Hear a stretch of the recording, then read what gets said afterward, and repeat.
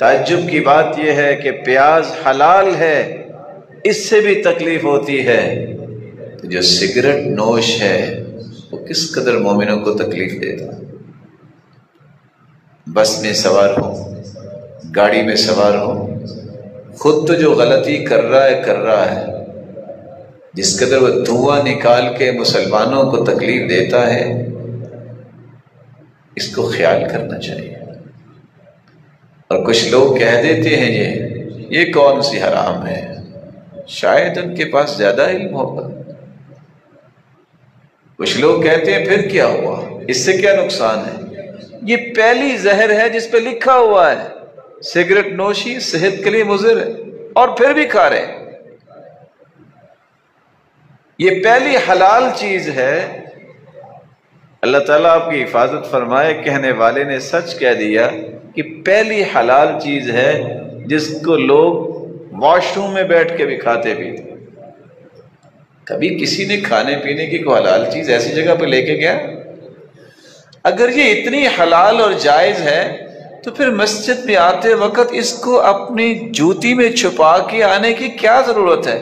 कभी किसी ने आइसक्रीम, कोई टॉफी, कोई नान, कोई बिस्किट अपनी जूती में रखे? ये उनका अमल खुद बताता है। कि वो इस बात को समझते हैं कि ये ठीक नहीं। और कुछ तो ऐसे लोग हैं जिन्होंने शेर ही बना रखे हैं। वो एक मौलाना होते थे, अल्लाह ताला उन्हें गरीक रहमत फरमाए। मौलाना मोहम्मद हुसैन शेखपुरी रहीमहुल्लाह। तो किसी ने कह दिया, आपको पता ना, सिगरेट तो तरह तरह की आ गई है। नौजवान जब सिरात मुस्तकीम से बहक जाएँ तो सिगरेट की तरफ़ चले जाते ये मुसीबत बूढ़ों के अंदर भी है। कबर का सफ़र करीब है और गट गट अभी भी जारी है। बल्कि फख्र करते हैं, कहते लो, हमारा तो खाना ही हजम नहीं होता। तो जो सिगरेट नोशी नहीं करता वो सारे बदहजमी का शिकार है। वो लोग बेचारे सारे हॉस्पिटल में हैं। किस कदर शैतान ने ये चकमा दिया हुआ है? तो कहने लगा, ये कहने वाला, हुक्का पीना, कारे सवाब, न रिजक की तंगी, न कब्र अजाब। तो मौलाना कहते हैं, नहीं, ये शेर का वज़न ठीक नहीं है। असल शेर का वज़न ये है, हुक्का पीना, कारे अजाब। न छित्रों की तंगी, न हसूल सवाब तजुब की बात है एक चीज़ जिसको शरीयत कह रही है, कि ये फरिश्तों के लिए तकलीफ़ दे है, उसको सवाब की बात कह देना। अल्लाह ताला उम्मत को महफूज फरमाए।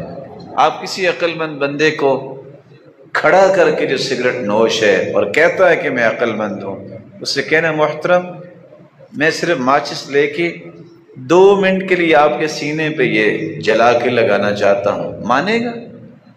ये कलेजा इसी तरह जला रहा है। लेकिन आपको माचिस से जलाने की इजाज़त नहीं देगा उस अक्लमंद को जो अपने आप को अक्लमंद समझता है, जेब से उसके पैसे निकालना, उसके सामने एक सौ रुपए को आप आग लगाना लगाना नहीं देगा। इसी तरह अपना पैसा ज़ाया कर रहा है। इन मुबजरीन इखवान शयाती फजूल खर्च शैतान के भाई ला तख्तलु अनफुसकुम अपने आप को कत्ल न करो, नुकसान न दो। इससे बड़ा भी इंसान कोई बेअकल हो सकता है जो अपने आप को खुद नुकसान दे?